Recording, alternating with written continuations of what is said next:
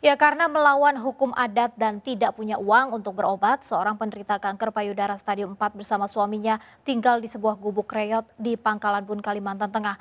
Untuk makan saja pasangan malang ini mengandalkan sumbangan dari warga sekitar.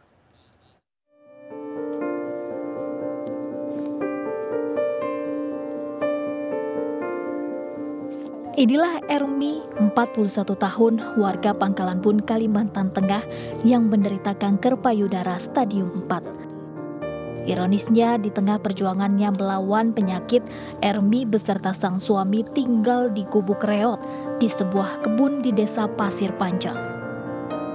Bukan tanpa alasan ia terpaksa tinggal di gubuk reot tersebut. Ia dan suami terpaksa tinggal lantaran keduanya diusir pihak keluarga karena melanggar aturan adat, yakni menikah dengan beda agama. Sementara itu, karena tidak memiliki biaya berobat di rumah sakit selama dua tahun lamanya, Erni melakukan pengobatan kanker secara alternatif.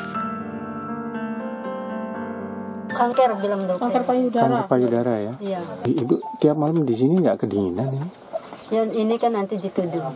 Ditutup. Ya malam. Kini Erni dan suami hanya bisa berharap uluran tangan dermawan serta bantuan pemerintah setempat. Pasalnya setiap harinya mereka hanya mengandalkan warga sekitar yang memberikannya makan. Dari Pangkalan Bun, Kabupaten Kota Waringin Barat, Kalimantan Tengah, Sigit Zakwan Pamungkas, iNews melaporkan.